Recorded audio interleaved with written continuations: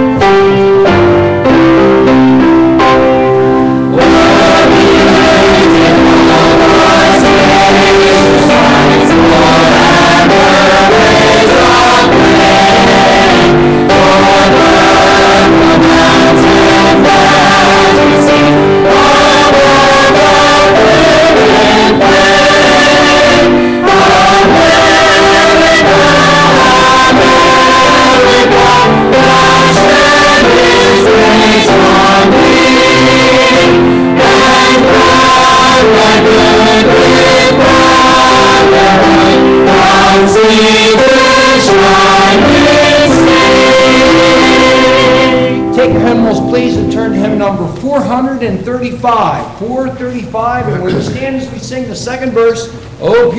beautiful base spacious skies.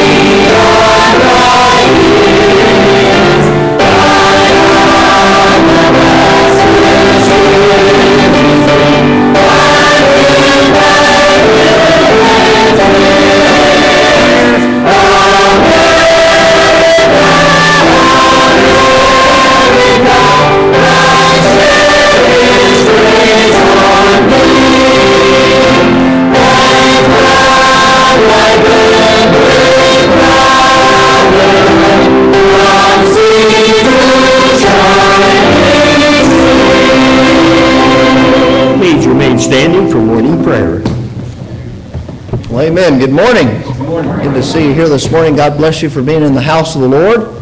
And we're looking forward to a great day today. And I'm excited about what the Lord has for us in this hour. Amen. And I'm asking Him to work in our hearts in a great way. And you may be wondering, I wonder why we sang a patriotic hymn. Well, Tuesday is the 11th of September.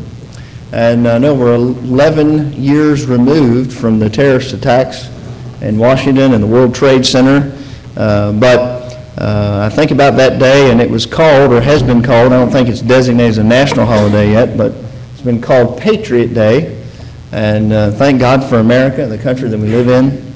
And uh, I'm glad our God loves all people, but I'm glad that we had the privilege uh, to be born in this nation and what it stands for and what it represents. And we need to pray for our nation.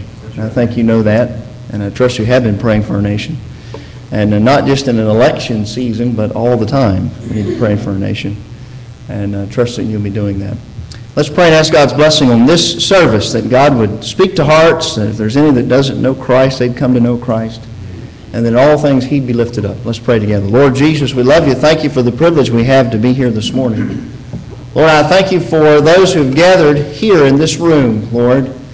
Uh, we've come to worship Thee, and uh, Lord, I pray that our hearts would be stayed upon Thee as we have opportunity to enter into this worship service. Lord, I pray that we would do that and that our worship, Lord, would be as you have said in your word, it would be in spirit, through the Spirit of God, and in truth. And Lord, we thank you that we have the truth. We're not looking for the truth anymore. We have the truth found in your word. And I pray that you would guide us into your truth. And as you prayed in the garden, sanctify us through your truth. And Lord, I pray you do a great work in our hearts. Bless as the choir sings in just a moment. Uh, Lord, speak to hearts through the song. Prepare our hearts to receive the Word of God in just a little bit. As we have opportunity to take the hymn books as a congregation again in just a few moments, help us to sing out as unto thee. And then as we give, Lord, uh, back what you've given to us, may we give cheerfully. A heart that loves you and desires to see your work, uh, Lord, progress forward in this place and around the world. Lord, I pray that you bless those that we support around the world and those here in our own country. As some have already met this day, some are yet to meet. And Lord, I pray that you would guide and direct, save souls, work in hearts and lives. We love you and thank you for what you've done for us. Uh, Lord, we, we just offer this meeting to you. And Lord, we want to be led of your Holy Spirit. Guide us, we pray, in everything that's said and done. In Jesus' name, amen. You may be seated.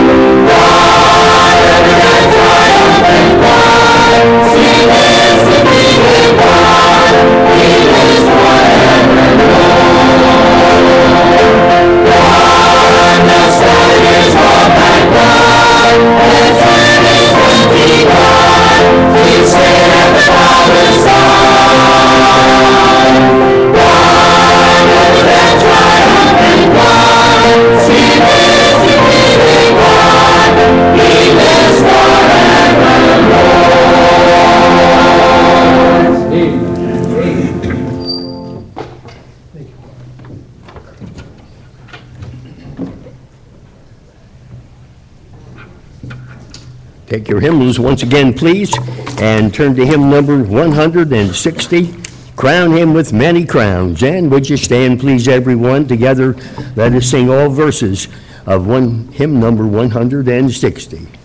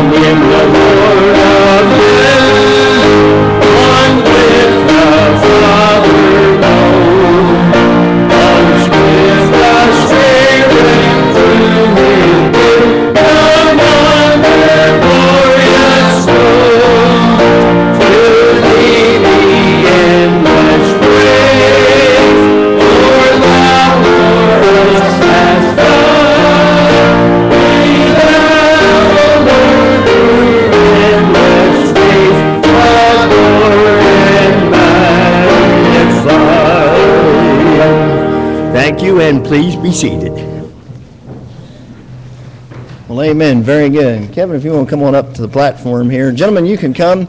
If you're visiting with us today at Calvary Independent Baptist Church, God bless you for being here. These men want to put a packet of information in your hand. If you'll raise your hand as they make their way back to you. I've already seen some folks visiting with us, had an opportunity to meet some of them, and so glad you're in the service here today. There's a card on the inside. If you'd fill it out, leave it with us in the offering plate. We'll have a record of your visit, and uh, that'll be great. And that's the only thing we ask visitors to place in the offering plate is that card, just to let us know you visited with us today. And God bless you for being here at Calvary Independent Baptist Church. Uh, Kevin Singles is a volunteer in the fire department here in Quarryville, and you see he is in, in his dress uniform here today in remembrance of September 11th, and he has something he wanted to share about that day and folks he knows associated with that day up in New York. And he asked me the other day if, if he could share something, and I said, sure, come ahead and do that. And so he's going to come ahead and do that this time.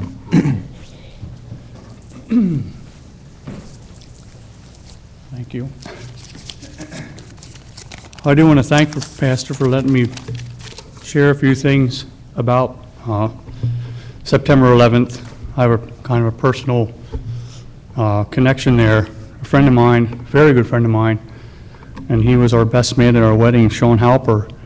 Um, He was driving the one engine that day, and uh, from Brooklyn, which is only in the proximity of about six blocks away from the World Trade Center. And they were doing the alarm, when the second alarm came in, as the battalion chief that was there first transmitted a 1076, which is a high-rise assignment. And when they got there, he dropped the five fellows off that were with him, and his assignment was to, to go find a serviceable hydrant to battle the fire. And when he dropped those five guys off, that was the last that he saw them alive that day. And their names were Captain Anthony Jovic, Anthony Rodriguez, Michael Ragusa, Chris Reaganhart, and Ronnie Henderson, which they worked together for a few years together. And I have a quote here from Edward F. Croker, Chief of Department in the City of New York from 1899 to 1911. And this has to do with the heart and the ambition that every New York City fireman, every fireman probably in this whole entire world have, the same ambition that this fellow did back in the 1900s. I have no ambition in this world but one, and that is to be a fireman. The position may, in the eyes of some, appear to be a lowly one, but we who know the work which the fireman has to do believe that his is a noble calling. Under the impulse, or, excuse me, our proudest moment is to save lives. Under the impulse of such thoughts, the nobility of the occupation thrills us and stimulates us to the deeds of daring, even of supreme sacrifice. And that's what I have to share, and the feeling I have for, and I, for each and every one of us is, it's just a part of us. It's just what we do. It's who we are, no matter what. That's who we are. Thank you. Thanks, Kevin. We appreciate your uh, service in our local fire department. Do we have any other first responders here, or anybody that works in fire department or works in those type of things, even auxiliary, any of you ladies? We Got some auxiliary ladies around here, don't we? Maybe they're out helping in other places, but uh, we're thankful for their service and the service of the first responders.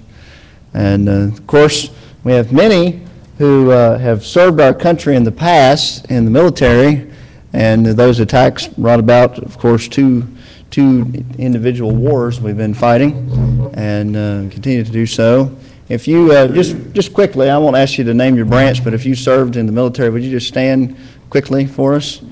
Anyone like that? Yes, we have several around the room, and we appreciate their service.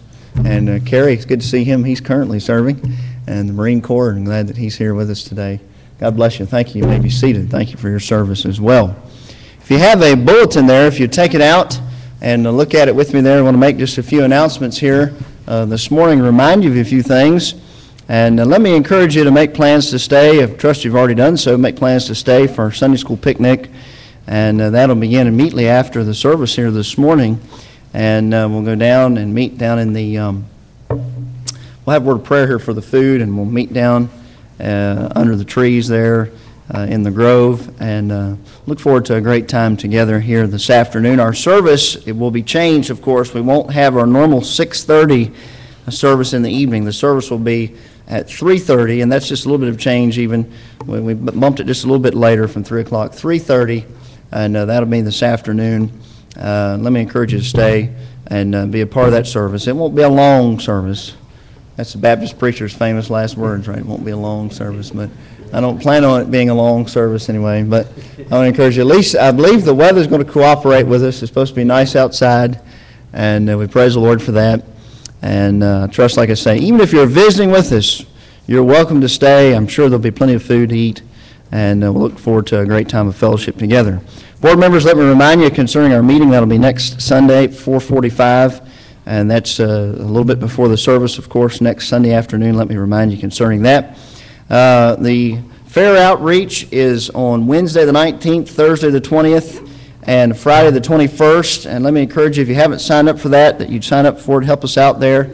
And uh, there at the booth, there's two-hour time slots. We have a few more filled out and some yet to fill. And if you could help us with that, that'd be a great uh, blessing there. Also, if you took some of those packets, all the, um, all the bags were depleted on Wednesday night, which is a good thing, but we didn't have every item that everybody needed. So if you need those brown cards that are informational cards about the church, there's a whole stack of them out there now that you can use. There's also uh, candy out there you can use to put in the, um, put in the packets there.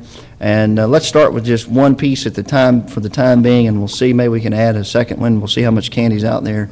And uh, if you want to help us with that, that will uh, be great. Ladies, if you're interested in the ladies' conference, this will be held, uh, they didn't have it last year, but they're holding it again this year. Uh, This is held up at the Heritage Baptist Church up in Wallingford, Connecticut. And uh, Pastor Bish has been here preaching our revival, spring revival, two years ago. This is uh, that very church, and uh, that's where my uh, in-laws attend as well, members there. And that'll be on Saturday, the 27th. If you're interested in that, if you want to speak with my wife about that, she can give you some more details, departure and returning and those types of things. And uh, that'll be on Saturday, October the 27th. Uh, Some upcoming events here. You see the Solanco School of the Bible kicks off next Monday evening, a week from tomorrow, and that'll begin at 7 o'clock. And uh, we're looking forward to that. If you have any questions concerning that, you can see me about that. Our ministry at the Presbyterian Retirement Community is Tuesday, the 25th, and then men, our prayer breakfast will be on Saturday morning, October the 6th. I trust you'll make uh, plans for all of these. On the back, you see some prayer requests that are listed here. I trust you remember these folks in prayer. Be praying for Bill Johnson. He's recovering uh, from his back surgery, and be praying for him that God would bring healing there in his body. You see our attendance and offering totals from last Sunday, our Spark of Grace report from the previous Thursday evening. Uh, Our Shut of the Week is Adelaide Kelly. Her address and information are given for you there. And our Mystery of the Week, we read the letter in the Sunday School Hour. We're praying for the Heralds, and they're serving over in uh, Peru, uh, South America. Now, one other thing, and uh, you gentlemen in the back, you can help me with this. There's a little insert out in the Welcome Center. It says uh, 30 Days of Prayer, if you want to help me with that. I handed this out on Wednesday evening, and I made more copies, and I think we'll probably be able to cover, cover everyone with it. And if you weren't here on Wednesday evening, I want to make sure you get a copy of this. I heard a message on Wednesday uh, during the day, and it was a message concerning the prophet Daniel and how he kept his windows open towards heaven. And it was a message about prayer. And it was a great message. And then at the end of that message, the preacher uh, handed out this, uh, this little insert here, this little help guide, 30 Days of Prayer. And there's a prayer emphasis for every day of the month. In other words, most days of the month have 30, some have 31. And uh, you can add your own emphasis on those 30, those ones that has 31 days. And, uh, but I want to encourage you to use it, take it, and uh, nothing is dynamic unless it's specific. And uh, so here's an emphasis for that. So if you gentlemen would, wouldn't mind coming forward there, and uh, if you didn't get one of these, they're going to come all the way to the front and then work their way back. If you didn't get one of these, if you'd raise your hand, we want to make sure you get one. If you you weren't here on Wednesday evening, you didn't get one. And so if you weren't here, make sure and raise your hand so we can put this in your hand.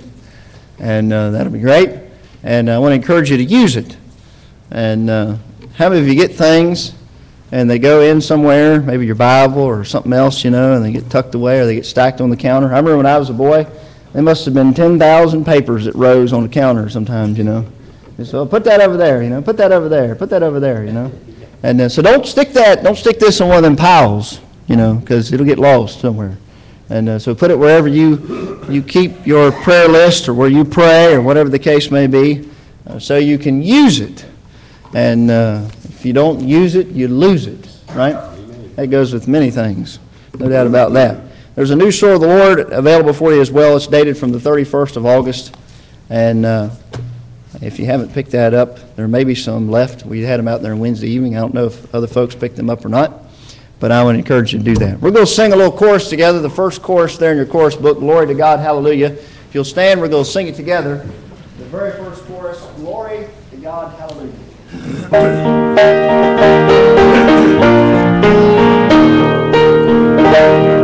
We are never, never weary of the grand old song.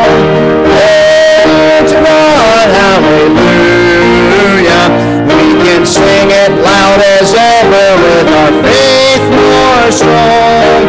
Glory to God, hallelujah. Oh, the children of the Lord have a right to shout and sing, for the way is growing bright and our souls are on the wing. We are going by and by to the palace of the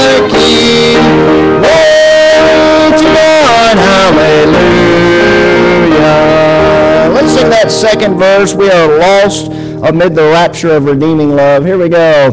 We are lost amid the rapture of redeeming love. Glory to God, hallelujah. We are rising on the pinions to the hills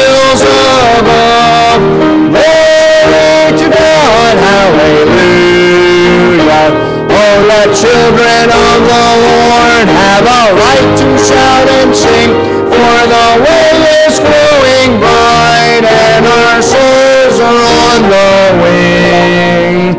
We are going by and by to the palace of the King. Glory to God, hallelujah. Very good. Winnie's going to play a little bit through there. Greet some of their next to it. Tell me glad to see them here today.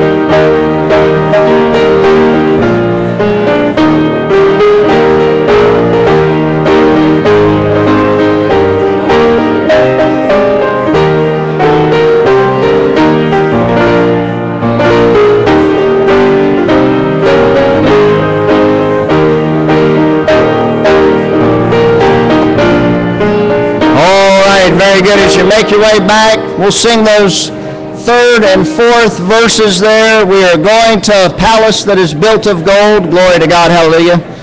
Where the King in all his splendor we shall soon behold. Glory to God, hallelujah. On that third verse, here we go.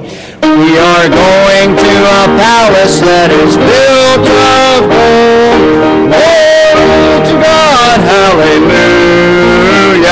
Where the King in his splendor we shall soon behold. Glory to God, hallelujah. All the children of the Lord have a right to shout and sing, for the world is growing bright and our souls are on the wing. We are going by and by to the palace of the King. Hallelujah. On that last one, there will shout redeeming mercy. Can you sing it that way?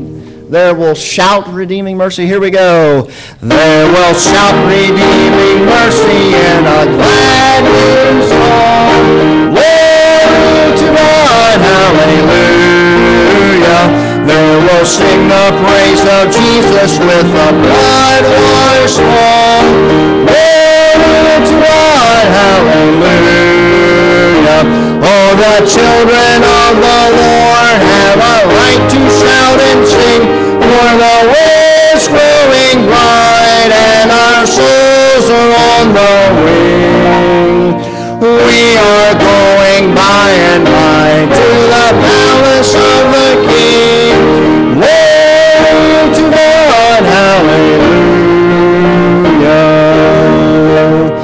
Very good. Remain standing. Our men are coming this way. I wonder how many, how many for you, that was the first time you shouted in church? The first time that ever happened? That'd be something, wouldn't it?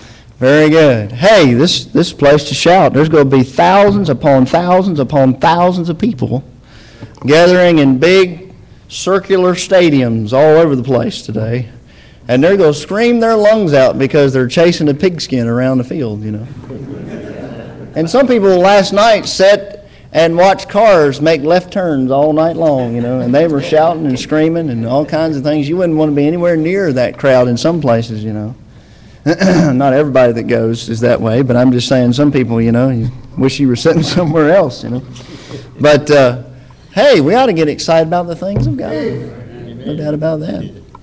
Well, praise the Lord. I'm glad to see you. Brother Scott Beal, would you lead us in prayer, please? Heavenly Father, we thank you for this day and today, Lord, and we just thank you for the opportunity to be here together today and fellowship under the words of, uh, of you, Lord, and I just uh, pray that you'd uh, take this offering that, uh, that we gather here today, and I pray that you bless it and multiply it, Lord, and help us use it wisely.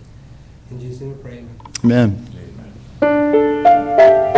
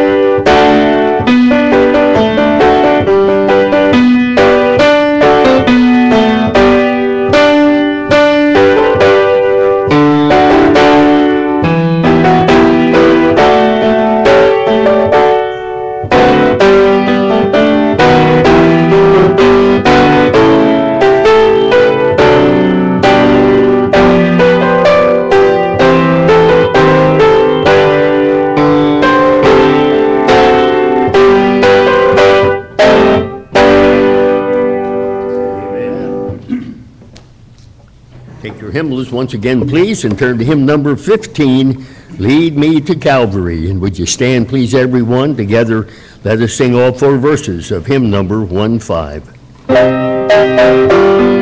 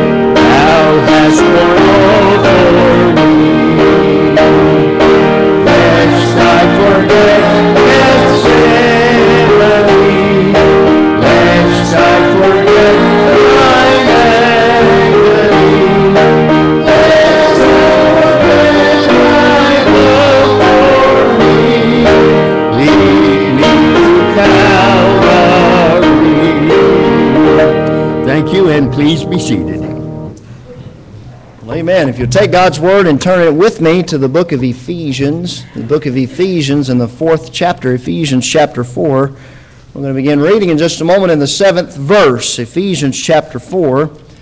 We're going to read through the 16th verse as we continue in these series of messages we've been bringing now for the last several months concerning spiritual gifts. The book of Ephesians in the fourth chapter, we've looked at Romans chapter 12 and the- context of the list of gifts that we have there.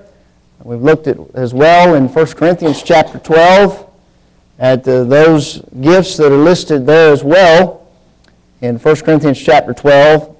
And we've dealt with these particular passages, and now we come to uh, the fourth chapter of the book of Ephesians. The Apostle Paul, again, is the human penman, and he's writing concerning uh, these spiritual gifted individuals that we have here.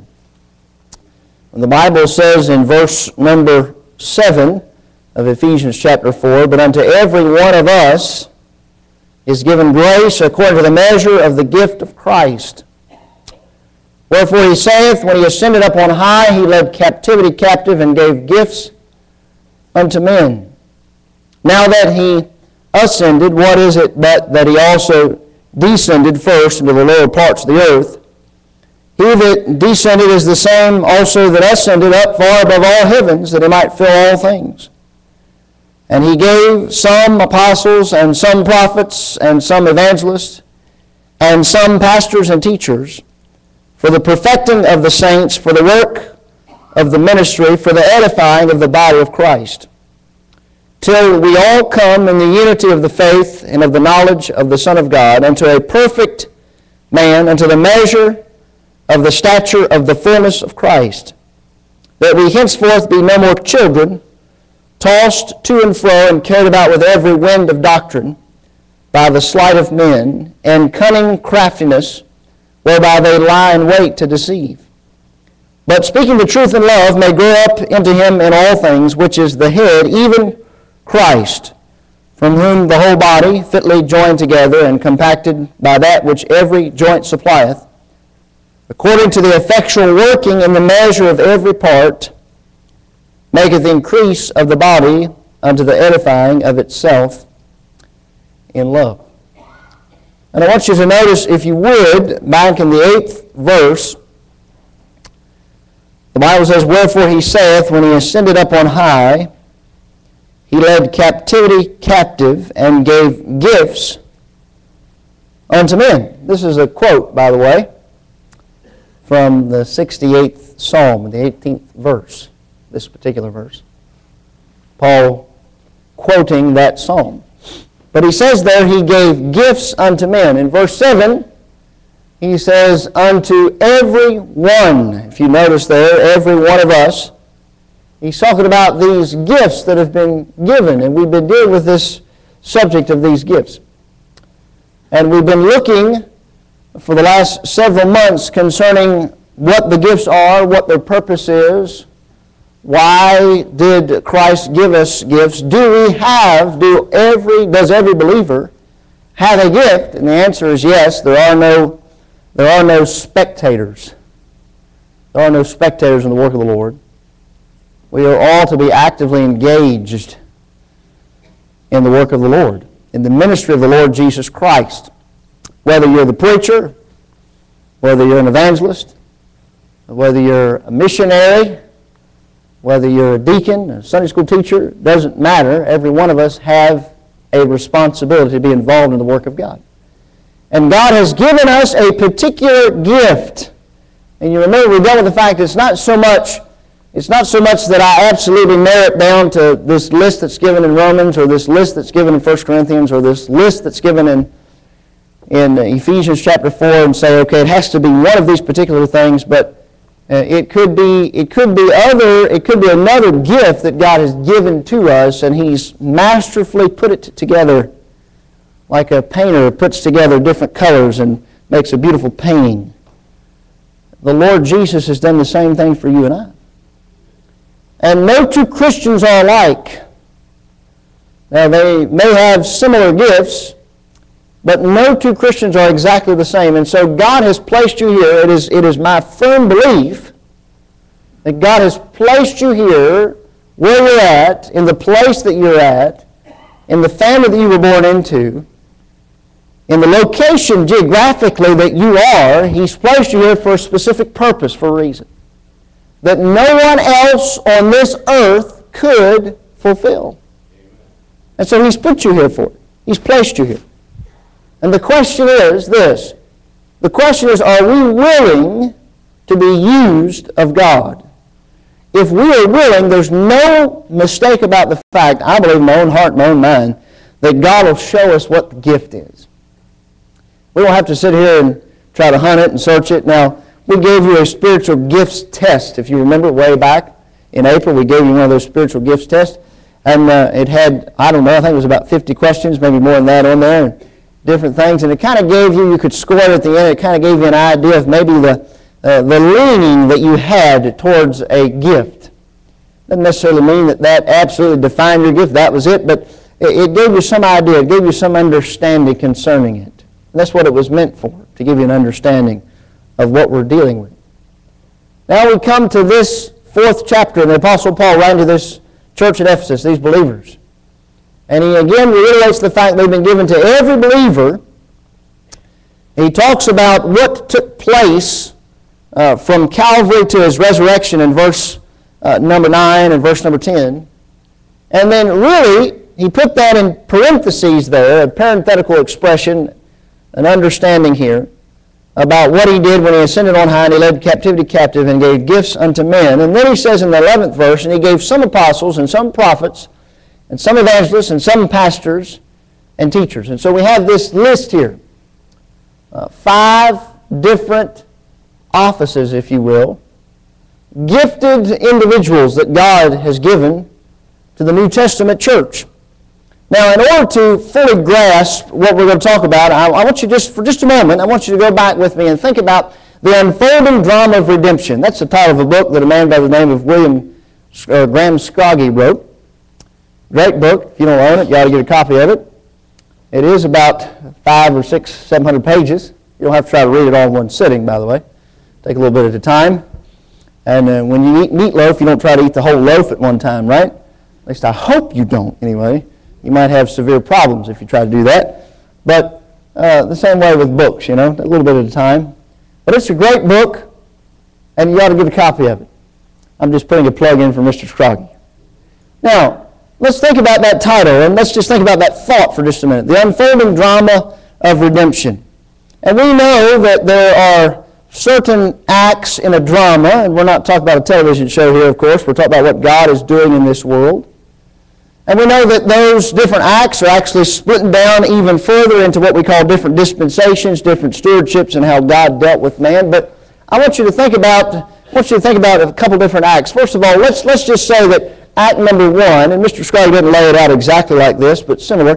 Let's just say act number one is this. It is a very prolonged period of time, thousands of years worth of time. Matter of fact, about somewhere around, if you believe the earth is about 6,000 years old, somewhere in that that time frame there. We believe in a, in a young earth as creationists. And uh, we believe that God created the heaven and the earth, right? No doubt about that. Genesis 1 1. And, uh, you know, that, that wraps it all up. That helps solve so many questions throughout the, the rest of the Bible, doesn't it? Just Genesis 1 1 does. Uh, uh, but the first act would be from creation, the creation of the world, unto the birth of the world's Savior. And that's a long period of time right there. And what was God doing that, during that period of time? He was preparing the world for the coming of His Son, for the coming Messiah of Israel. Uh, uh, that's all throughout the Old Testament. And there was, there, was a, there was a general theme that runs throughout the Old Testament. And I want you to see what that general theme is. Hold with, hold with me here in Ephesians 4. Put a, put a bookmark there, your finger, whatever the case may be, and look with me back in the book of Deuteronomy. Just one verse. Deuteronomy chapter 6 here is a general theme of the Old Testament. Deuteronomy chapter 6. One great primary truth, the primary theme and message of the Old Testament. Here it is, Deuteronomy chapter 6. Now, there are many themes and there are many messages in the Old Testament, but here's one general primary one. Uh, verse number 4, Deuteronomy chapter 6. Hear, O Israel, the Lord our God is one Lord. That was the general theme that ran throughout the Old Testament. Now, you remember what happened to Israel? They got caught up in all types of idolatry throughout the Old Testament, didn't they? Uh, uh, now, God presented this great truth to a man uh, uh by the name of Abraham. You remember that? And he called Abraham out of the Ur of the Chaldees there in Genesis chapter 12, and he said, I'm going to take you to a land uh, uh, that, I, that I will show you. And by faith, the Bible says in the book of Hebrews, that Abraham obeyed God and it was counted to him for righteousness' sake. And uh, God worked in his life in a great and miraculous way and brought him out of, uh, uh of Ur the Chaldees where he worshiped false gods, a, a polytheistic society. That's what Ur of the Chaldees was. And then he brought him, uh, he brought him, of course, to, to Canaan land and what he was doing there and how God worked in a marvelous and a mighty way there in Canaan. And so he set apart those people. He said in Genesis chapter 12 that in thee shall all the families of the earth be blessed. And through the nation of Israel, they were to take this message of Genesis, or Deuteronomy 6 4, that the Lord our God is one Lord. Jehovah God is the only God. It's not through, uh, not through Allah. It's not through Buddha. It's not through all that. Hey, in that time, it wasn't through uh, uh, Baal. It wasn't through uh, uh, Ashtaroth. It wasn't through anything. Hey, look, it's God and God alone. And let me tell you something, Israel had a hard time learning that, but those years in captivity cured them of that. And when they came out of captivity, all those ten northern tribes from Assyrian captivity and the two southern tribes from Babylonian captivity, they were cured of it. Matter of fact, when they went in and Rome occupied them, they demanded of Rome that Caesar's uh, uh, uh, standards be taken down, his flags and those types of things be taken down, and that his inscriptions come off the coins. They demanded that of them. And they obliged about that concerning that particular situation. That's Act 1. The Lord our God is one God. That's the theme. What about Act 2? Act 2 goes from uh, the birth of Jesus Christ in Bethlehem until uh, the coming of the Holy Spirit on the day of Pentecost in Acts chapter 2. Now, think about this. In the Old Testament, God is there. He's in heaven. In the New Testament, God is here. He's on earth. He manifested himself in a body, didn't he? In the person of the Lord Jesus Christ. And God becomes uh, visible in man's word there in, in, in, the Lord Jesus Christ. And, and Jesus took upon himself, the Bible says, Paul wrote, uh, uh, he humbled himself and he became obedient unto death, even the death of the cross. But he, he humbled himself in that he put on flesh. We call it his incarnation, right? He took that on, and he was present in the world at that time. Paul said, For in him, that's in Jesus Christ, dwelleth all the fullness of the Godhead bodily, Colossians 2, 9. Uh, you remember uh, when they were talking about what his name would be, they said, They shall call his name Emmanuel, which being interpreted is God with us. So he's not only uh, uh before us as Savior, he's not only above us uh, uh, as a, a sovereign, but he is beside us as a Savior as well. Now, let me give you the third act, Act 3. And by the way, this is the act you and I live in. And the unfolding drama of redemption. This is the act you and I live in. And it's a, it's, it's, it's a very incredible time. Because not only is God there, not only did he manifest himself here during his incarnation, but when he left, you know what he told those disciples? When I go away, he said, I will send you a comforter, and he shall abide with you forever. Here's the great truth. Not only is God there, but God is in us, and the Holy Spirit of God. This time period is going to last uh, uh, from uh, uh, when the Spirit came there uh, on the day of Pentecost in Acts chapter 2 until the rapture of the church. And by the way, through these different acts, we can see the, the revelation of the Trinity. God the Father revealed as one God. The Lord our God is one God. God the Son revealing himself in human history. And God the Spirit, God in us in this, this age. What are we? The Bible says we are the body of Christ. We're the body of Christ. So we are, uh, uh, really, we are the testimony of God in this world. That's what you and I are. Because in us dwells the Holy Spirit of God. If the Holy Spirit doesn't dwell inside of you, the Bible says you're none of His. I'm glad that He abides inside of us. So Act 1, God is one. Act 2, God becomes man. Act 3, God is in man. That's redemptive history. There's another act coming, and that's after the rapture until the eternal state, and that will be when the Lord Jesus Christ returns in the rapture, of the seven years of tribulation, and then he'll return, and we'll return with him to this earth, and he'll set his feet on the Mount of Olives. It'll cleave asunder. He'll set up his millennial kingdom, and we will rule and reign with him for a thousand years. Now, the Holy Spirit lives in the body of Christ, which is who? You and I as believers. We're the body of Christ. Now, why do I say all that? Because in the first act of human history, God was doing what? God was manifesting himself. He was making himself known. In the second act, God was doing what? He was making himself known. In the fourth act that is yet to come, God is going to do what? He's going to make himself known when he visibly returns back to this earth. But let me tell you something. You know, in this very act that you and I are living in, what do you think God wants to do? He wants to manifest himself. He wants to manifest himself. And how is he going to do that? He is only going to do that through you and I as we are Christ-like in this world. That's how that's going to take place. Now, we've just seen here, uh, uh, back in our text in the book of Ephesians, that the Bible says that every Christian has been given a gift. Uh, unto every one of us is given grace according to the measure of the gift of Christ. So every last one of us as believers have a gift. And uh, we are gifted for a particular ministry to do what? To, to equip, to energize, uh, uh, to build up, uh, uh, to serve, uh, to bring honor and glory to Jesus Christ and to serve His body. That's why we've been gifted. And remember, these gifts are, th- these gifts were just that. They were gifts. They're stewardships.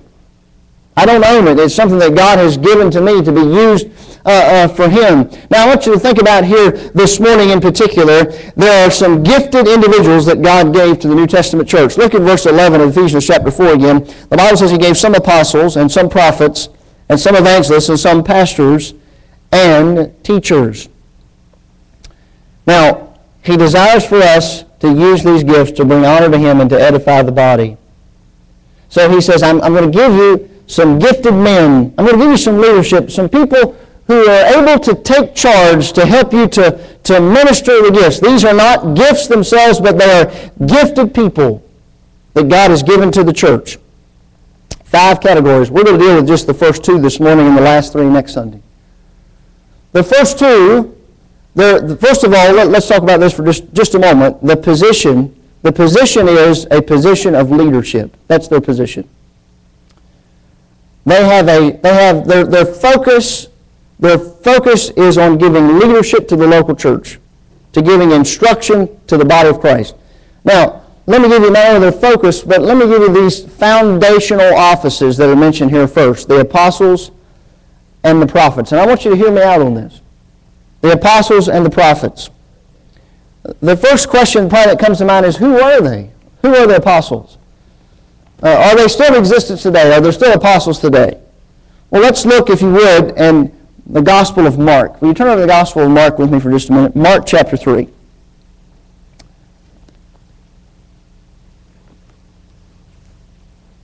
There's a uniqueness to this office of an apostle. There's a uniqueness. I believe it's given really in, in two different phases, if you will. There's a primary and then there's a secondary. A primary and a secondary.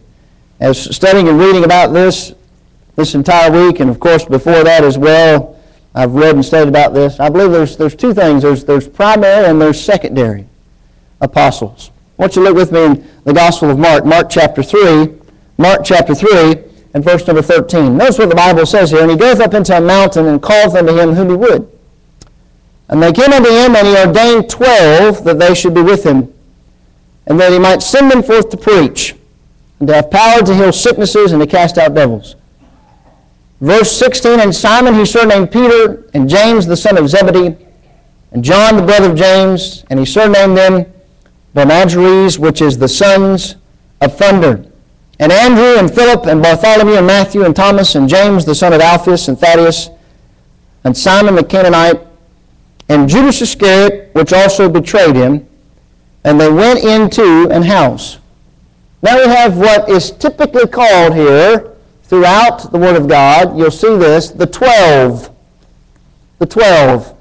We refer to them as the twelve disciples. Almost synonymously, we refer to them as the twelve apostles as well. And so we have a primary office here. What was their responsibility? Well, the Bible tells us what it was. Here it is, verse 14 at the end, that he might send them forth to what? To preach, verse 15, to have power to heal sicknesses, and to cast out devils. So there were 12. We know Judas was a traitor.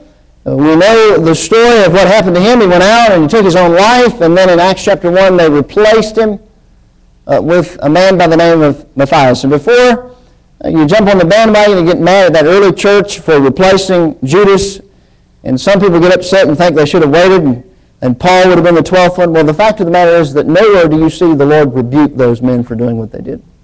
Nowhere throughout the Word of God do you see them rebuke it. Kind of high and lofty for us to rebuke them, right? I think we have some, some corner on the thing. That's just for your own benefit. Just thought I'd throw that out there. Uh, uh, they were an official group. They had a they had a basic task to preach the gospel. They were authoritative. They originally witnesses. They were with the Lord Jesus Christ. They were going to preach a message that no one in the history of the world had ever preached before. It was the message of Jesus Christ. And when they finished, when they were done, they were off the scene. Now, we know that the Apostle Paul also was called an apostle. Look with me in 2 Corinthians chapter 11. He was uh, not any less than Peter, not any less than James, not any less than John. Uh, uh, look in 2 Corinthians 11 and notice what the Bible says here.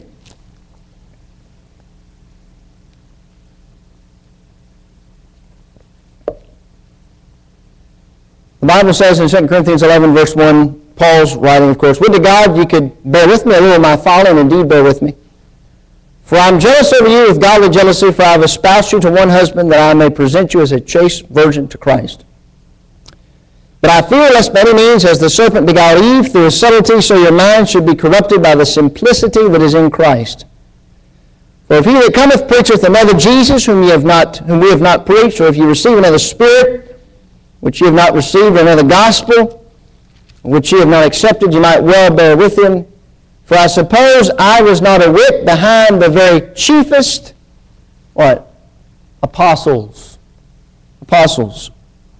So Paul fits in that category of being one of these primary apostles, giving a total with Matthias and Paul making 13. 13 of these primary apostles. These primary apostles are people who heard and who saw the Lord. They saw him physically after his resurrection, a manifestation of Jesus Christ. And what did they do? They declare him to others. Now you say, Preacher, where do you get that from? Well, look with me, if you would, in 1 John chapter 1. Just the opening verses of 1 John. John, the apostle, the human penman, writing this letter. Notice what he said. Verse 1. We're going to read down through verse 3. 1 John 1, 1, that which, we, that which was from the beginning, which we have heard, which we have seen with our eyes, which we looked upon, and our hands have handled of the word of life. Who's he talking about? He's talking about the Lord Jesus. For the life was manifested, and we have seen it, and bear witness and show unto you that eternal life which was with the Father and was manifested unto us.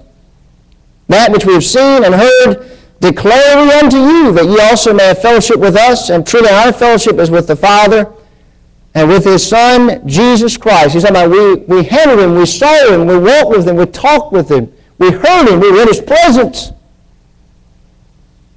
Who is the we? The we are the apostles. We saw him. We were there. We, we saw him manifested in our presence. Now I want you to go to another passage, just a little bit from where you're at there, First Peter, if you would, just a couple pages back, First Peter chapter 1.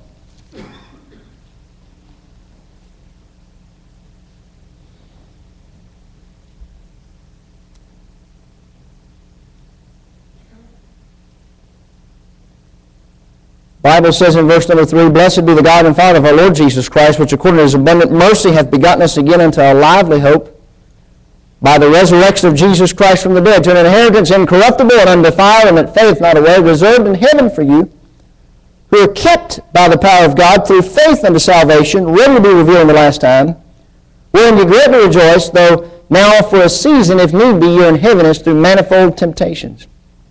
That the trial of your faith, be much more precious than of gold that perisheth, though it be tried with fire, might be found unto the praise, unto praise and honor and glory at the appearing of Jesus Christ. Now notice verse 8. Whom, having not seen, ye love, in whom, though now ye see him not, yet believing ye rejoice with joy unspeakable and full of glory. Now there are those who may say that they have succeeded directly from the apostles themselves that there's, they are an apostle in the primary sense of the word that's given here. That they've, but the Bible says, Peter said, Look, of whom you have not seen. You haven't seen him. More scripture bears credence to that if you look in Acts chapter 1. Acts chapter 1, if you turn over there with me. Acts, in the first chapter. They're going to pick this replacement for Judas. In Acts chapter 1, and the Bible says, verse 21, Wherefore, of these men which have company with us all the time, that the Lord Jesus went in and out among us, beginning from the baptism of John to the same day that he was taken up from us, must one be ordained to be a witness with us of his resurrection. Of these men, he said in verse 21, which have company with us all the time that the Lord Jesus went in and out among us. And then he said in verse 23, and they appointed two, Joseph called Barsabbas, who was surnamed Justus, and Matthias. And they prayed and said, Thou, Lord, which knowest the hearts of all men, show whether of these two thou hast chosen. And we know that the Bible says in the 26th verse, they gave forth their lots, and the lot fell upon Matthias. He was numbered with the 11 apostles. And so here's one. An apostle is one who heard and who saw the Lord Jesus Christ, and he declared him to others. Their ministry was authoritative. Their ministry was original. Their, their ministry was a miraculous testimony uh, of the Lord Jesus Christ. Now, that's primary apostles. Now, there are, are, I believe, secondary apostles. Secondary apostles. This may be something new for you. You haven't thought about this before. Maybe you thought there, that was just it. But look with me, if you would, in 2 Corinthians chapter 8. 2 Corinthians chapter 8.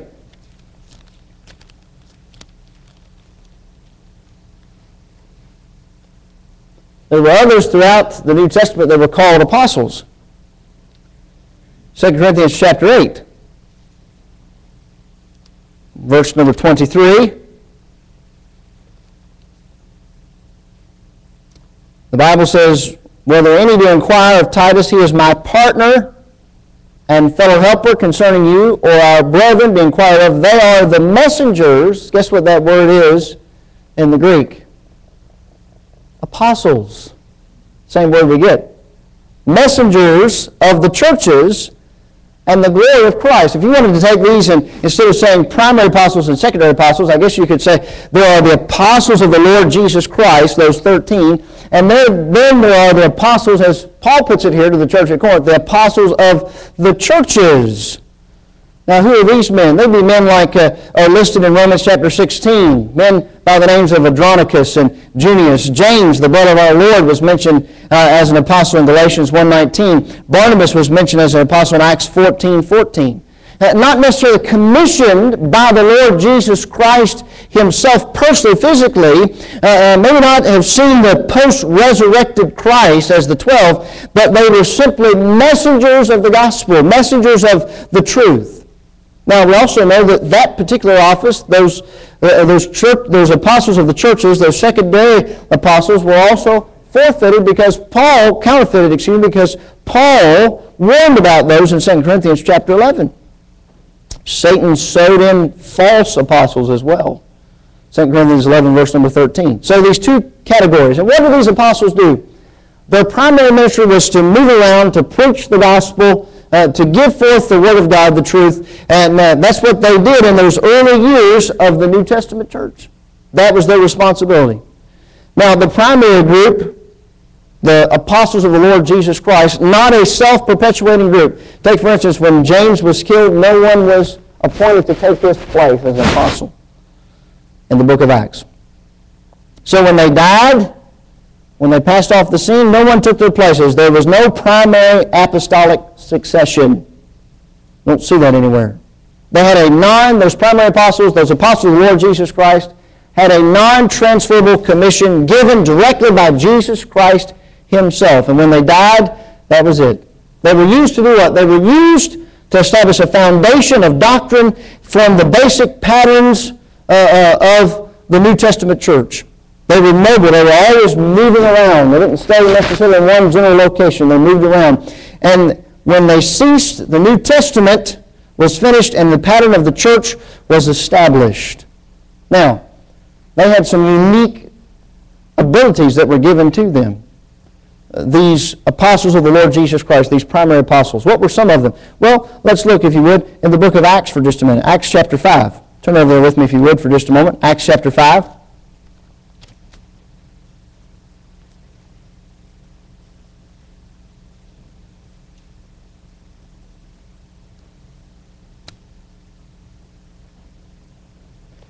These were a unique group for a unique period of history, laying down that doctrinal foundation, establishing a pattern for the New Testament church. The Bible says in Acts 5 15, so much that they brought forth the sick into the streets and laid them on beds and couches, that at the least the shadow of Peter passing by might overshadow some of them.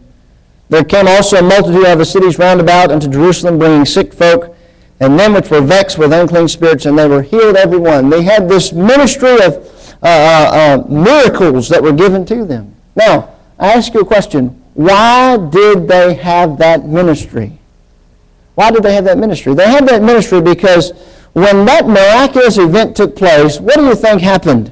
Just the shadow of Peter, the Bible says in verse 15, cast upon one that was ill, uh, uh, uh, brought healing there. What do you think that did? Do you think uh, people stayed away from that, or do you think people gathered around that? They gathered around that, didn't they? They naturally did. Uh, uh, by the way, we have false prophets today and false apostles, and when they lay claim to do certain things, what do you see around those types of people? Great crowd gathered around those types of people, don't? So great crowds gathered around the Lord Jesus, but they gathered around and it presented an opportunity to do what? To heal a lot of more people, is that what it did? Or they were more healed. But what was the reason why the miracle took place? To bring the crowd to preach the gospel. The Bible says, following those things, many believed because the truth was being preached. Remember, they didn't have a completed revelation as you and I do. They didn't have the completed New Testament as you and I do. Now, you may ask, you, you may ask this morning, well, preacher, what about the missionary today? Isn't, uh, isn't, he, isn't he an apostle? I believe he is in the general sense of the word, and that secondary an apostle of the church, uh, because it means this. It simply means a messenger, one who is sent. That's what the word apostle means. Let's bring it down and let's make the application to you and I. The truth of the matter is, as believers, you and I, in the secondary sense of that word, are sent ones as well. We are sent. We are to be messengers of the gospel of Jesus Christ in this world right where we live. There's application to be made today. I wonder, I wonder, are we faithfully, are we faithfully giving out the message of Jesus Christ? Well, the apostles. What else? There's another gifted man that's listed here in Ephesians, the book of Ephesians, chapter 4. And what is this gifted one? Uh, that's the office of prophet. You have apostles, you have prophets. These are foundational offices of gifted men in the local church. So who are, who are the prophets? We've talked a little bit about prophecy. Prophets, really, it simply means this, one who speaks out.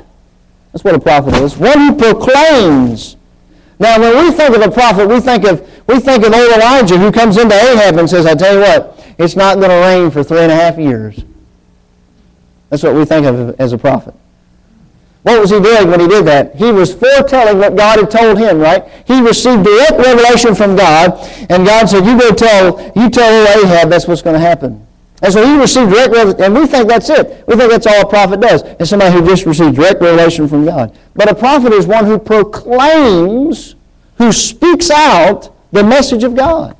That's what a prophet is. So it's not just a revelatory gift, as we've talked about in the past, uh, but it is proclaiming, speaking forth the Word of God. The prophet uh, was one uh, whom someone said this. This is what they do. Uh, they gave God a voice in the world. They gave God a voice in the world. So what's the difference between an apostle and a prophet? You say a prophet's supposed to proclaim, an apostle's sent with a message. So what, what's the difference there? Well, in some cases, there was no difference. Paul was considered both. Peter was considered both. However, uh, uh, there is a difference in their office. A prophet, uh, instead of being itinerant as an apostle was, a prophet remained in a local ministry. He remained in the local church there. Uh, the, Paul, we see him mentioned as a prophet. And what do we see him mentioned as a prophet as? He, we see him mentioned in Acts chapter 13, verse 1. Where's he at? He's there laboring and serving in the churches in Antioch. He had a localized ministry there of proclaiming the truth of God. Uh, what else did a prophet do? Not only did he remain in a local ministry, but he spoke revelation from God. He spoke revelation from God. They had a, a, a, very distinct message. It was a message of the revelation of God. We think about Paul and Peter and John the Baptist. They spoke revelation from God. And then what did they do? They taught the apostles' doctrine. They taught the apostles' doctrine.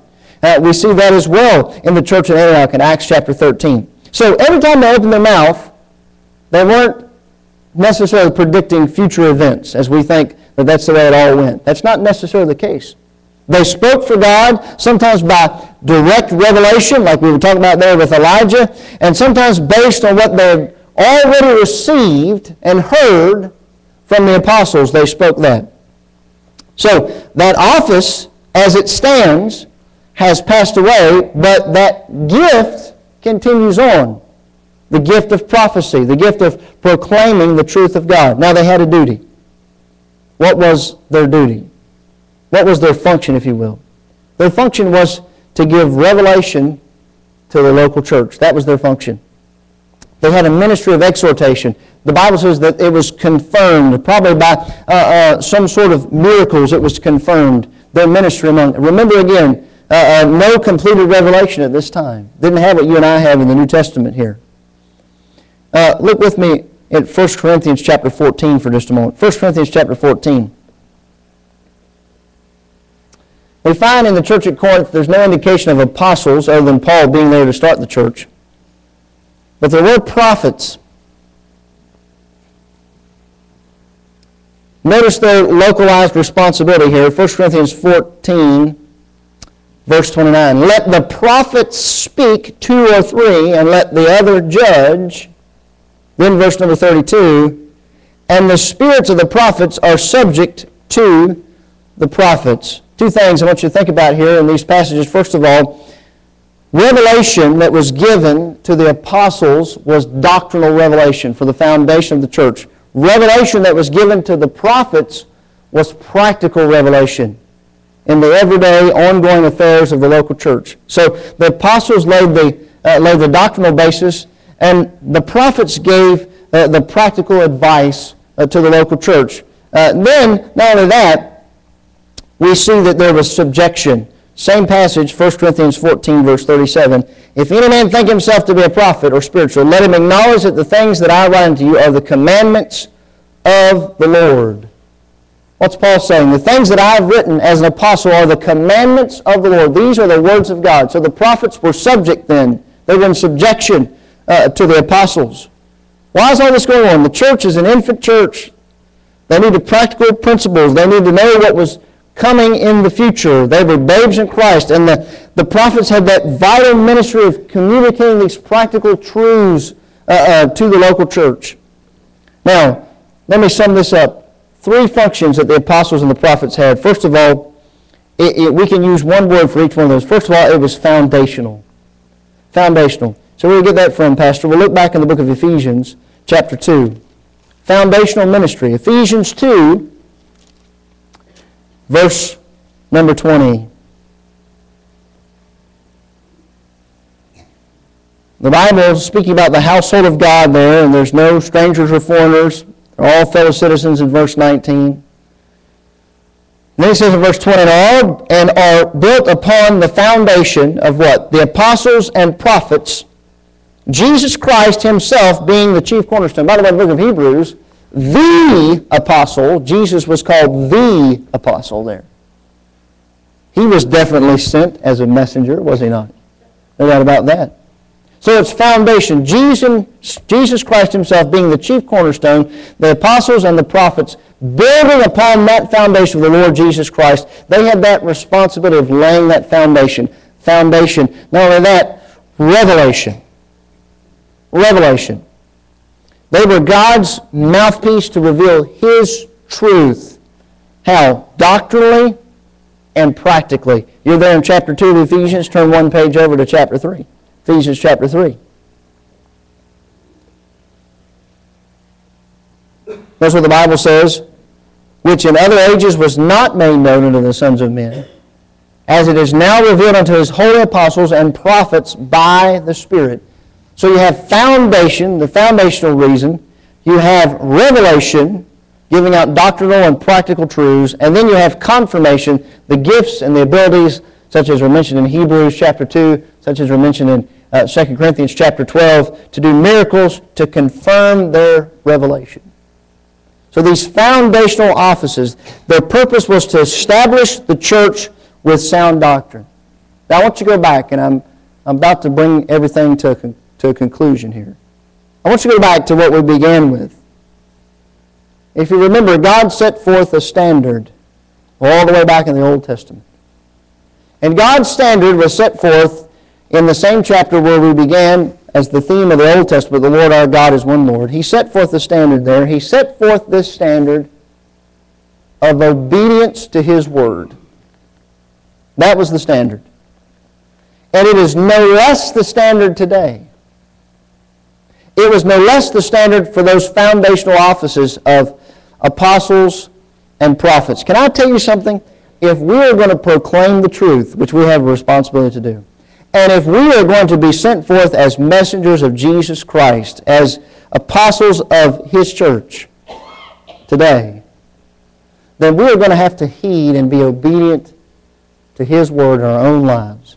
If we're going to manifest as God did in the Old Testament, as He did while He was on this earth, in the gospel records in His life and ministry, He Himself manifested who He was here on this earth.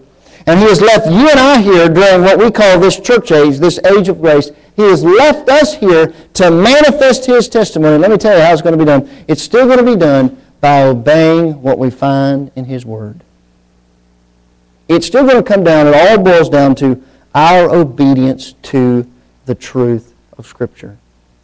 Now, there's a reason God gave these offices. We'll talk about it more next time. It's found there in verse 12. The Bible says, for the perfecting of the saints, for the work of the ministry, for the edifying of the body of Christ.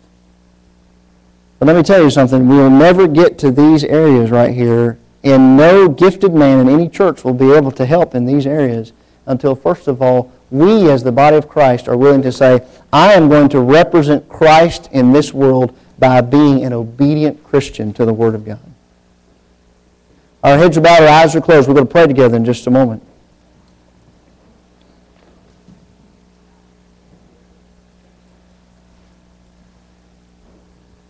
I wonder, I want you to think about, as you sit there quietly, we know that God wants us to respond to His Word in obedience. How do you respond to it? Now, listen, I, am not talking about the things that are easy because all of us have things in our life that it's easy for us to be obedient to. But I'm talking about when God asks you to do something that goes against your grain, and maybe you listen. You listen to the voices of the world that are clamoring for you. We talked about that in my Sunday school class. There's two voices the voices of the world and the voices of wisdom. And sometimes we listen to the voices of the world. We, we give in we give in to those sinners who try to entice us. And God said, Consent thou not, and we give in to it. I wonder, is your response to God's word, even when it points out some sin in your life, is your response obedience? Is your response to say, Thank you, Lord, I needed that. Forgive me of that sin. Cleanse me. Help me to be thoroughly right with you. Let me tell you something. You cannot be the Christian that you ought to be and this church cannot be the church that God has designed for it to be as a testimony for Jesus Christ in this world if you are not living in obedience to His truth. Now, I, I, I don't want, I'm giving my own personal testimony. God, forgive me and help me, cleanse me. I don't want to hinder the testimony of God in this world by something in my life that I'm not willing to ask God to forgive me and to repent of and get right with Him. Now, what about you? Message really simple. Are you an obedient Christian in every area? Look, if we're going to manifest Christ, if we're going to manifest Him, if we're going to be if we're going to be used, if our gifts are going to be used of God for the glory of Jesus Christ and the edification of this body, then there's going to have to be, as we, we sing a hymn, nothing between my soul and the Savior, none of this world's delusive dream. I've renounced all sinful pleasure. Jesus is mine. There's nothing between. I'm wondering, could you honestly, could you honestly sing that this morning and say, nothing between? Nothing. If not, why don't you say, you know, I, I don't want to hinder, I don't want to clog up the channel of what God desires to do in this local church, and I want to be thoroughly right with my Savior. And why don't you bring that to Christ today? Our heads are bowed, our eyes